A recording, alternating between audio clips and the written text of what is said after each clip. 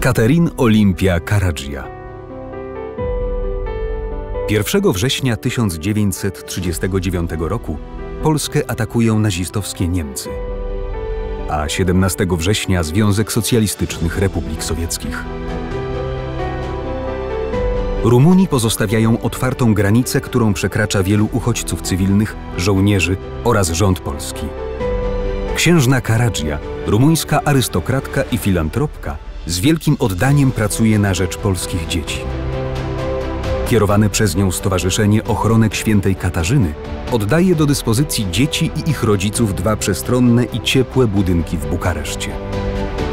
Do listopada 1939 roku przez ośrodek przechodzi 120 Polaków, a w styczniu 1940 roku liczbę samych dzieci do 12 roku życia szacuje się już na około 700.